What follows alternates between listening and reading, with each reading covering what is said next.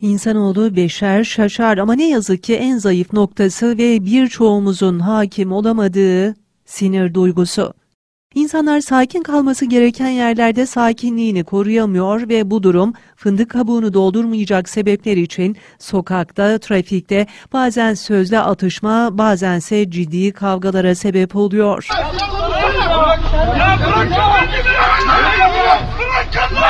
Ramazan ayı sabır ayı diyoruz. 11 ayın sultanında da ne yazık ki kavga gürültü eksik olmuyor.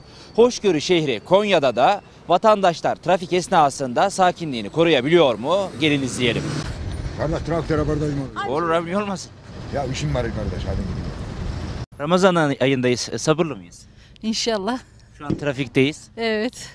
Peki trafikte sıkıntı çekiyor musunuz? Ya bayanlar olarak sıkıntı çekiyoruz tabii. Erkekler biraz sıkıştırıyor bizi. Ya hep, hepimiz değil. Tabii sabırlı olmak daha iyi ama olmuyor. Büyük araba izleye yer vermiyorlar. Sabırlı olmaya çalışıyoruz inşallah. Akşam üzerleri öyle.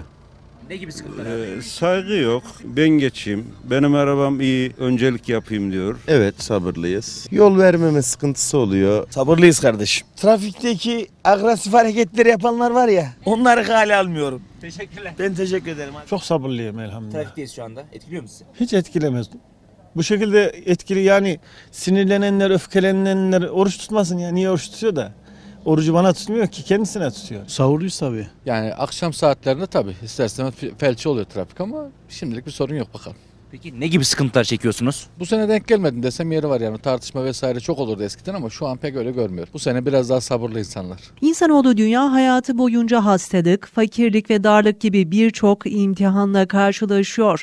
İnsanın kaderinde olan ve Allahu Teala tarafından gönderilmiş olan bu imtihanları önlemek veya geri çevirmek mümkün değil.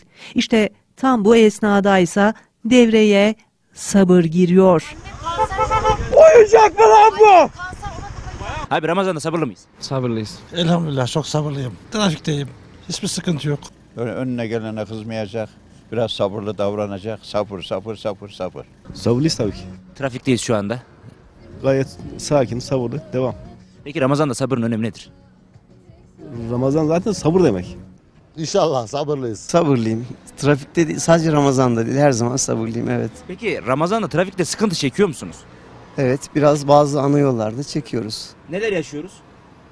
Sakin olmalarını söylüyoruz herhangi bir problem yok onun haricinde. Yani sabırlı olmak lazım ne bileyim mübarek gündür.